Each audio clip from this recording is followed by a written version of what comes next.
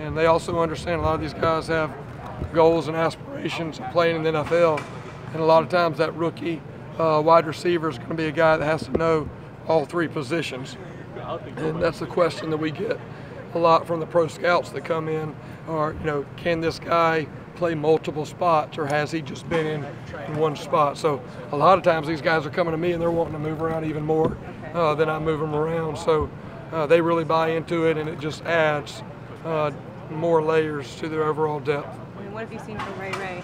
Your Yeah. wide receivers going up against him at Yeah, it, it's uh, it's been fun. You know, he's Ray Ray is uh, one of those rare guys that can go back and forth, and uh, you know he's spent really the last uh, three practices, half the practice on defense, half the practice on offense, and uh, you know sometimes I catch him in my wide receiver no, wide receiver meeting taking notes to help the DBs. Uh, so I've had to get on to him about that a little bit. We give him a hard time, um, but it's great. And in the end, it's going to make him a better receiver because he's over there learning what Coach Reed is teaching those defensive backs about leverage and about um, releases and all those different things. And uh, so it's something we'll continue to do um, here through fall camp and kind of see how it all uh, shakes out as we get closer uh, to uh, game prep for Kent State. How much fun was last night for you watching these kids that you've recruited play on that, that big stage in that game? You've obviously like, had guys before, but maybe not so many on the field at one time. Yeah, yeah, it was great, and uh, I mean to be in a brand new facility, and we're all out there, and the whole team's in the in the paw and outside watching those guys, and and uh, as soon as Deshaun threw that first pass, you, you could hear it. The whole team was was uh, cheering for him and talking and all that. So that was special, and um, you know I think as a coach, it's very rewarding. You know, we can remember. I can remember when Deshaun was a freshman and sophomore in high school, and I can remember him going out. You know, in his first starts in high school, and just, you know, this this stage not being too big for him, just being very fluid and uh, being able to execute. I can remember him as a true freshman at Georgia, coming off the bench and very first drive, going and leading us to a touchdown, and so it was really neat to see that that final phase as his his uh, debut on an NFL field, and that was the biggest thing that, that uh, you know I think I took away from it is he looked very natural. It didn't look like the moment was too big for him, and uh, he's gonna only get better. So that was very encouraging, and all the players and coaches really enjoyed uh, watching those guys last night. Coach, how's Ray Ray doing now that he has a cast off? Yeah, uh, he's been doing well. Um, he's had, you know, his best uh, week of practice so far. He's really caught everything. I haven't noticed anything with his hand.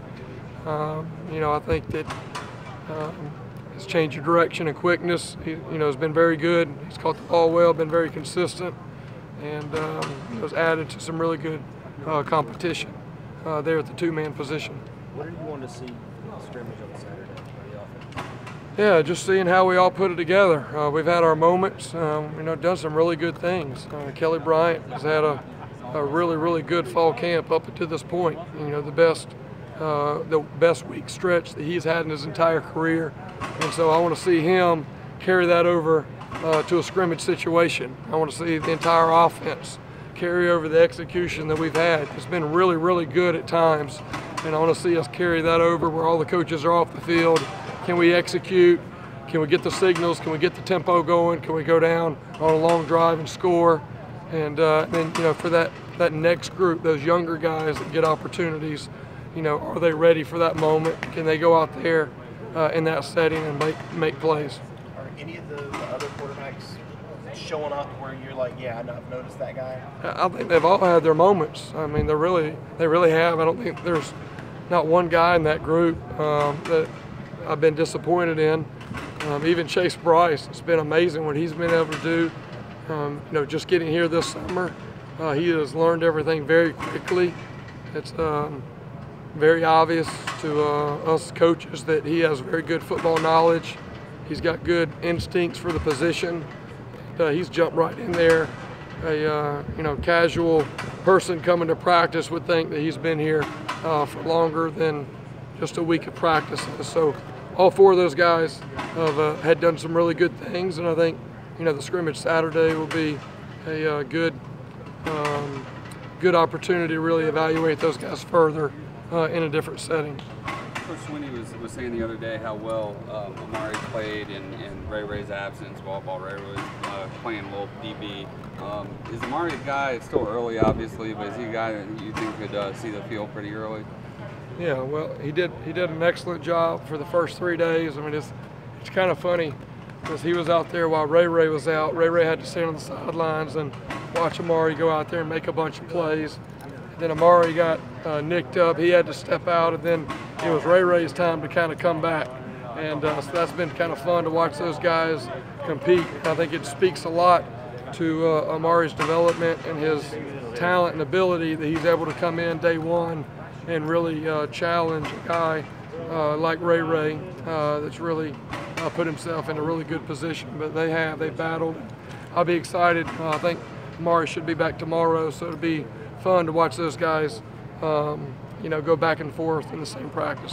Is the return game another area that Amari could really contribute this season? Yeah, um, and, and obviously we haven't done any live work, but uh, knock on wood, Amari hasn't dropped the ball yet. Um, some guys, it's very natural, and I can remember uh, Marcus Gilchrist. He was a guy who was just from day one. He went back there, and it was very easy for him. And Amari is one of those guys that's just very fluid and uh, very easy, natural catching the ball. Uh, now the next step is everybody off the field, and we actually got a, a punt team coming down live tackling. You know, is he able to do the same thing and make good decisions? So we definitely will have it scripted in to to uh, give all those guys some opportunity uh, for some live work and see, see where we are. At what point did you start losing your voice? Uh, about 10, 10 periods in the first practice, uh, but I'll have it back tomorrow morning. It really comes right back. So I don't think I would have made a very good singer. Uh, doesn't last very long. Thanks, Coach.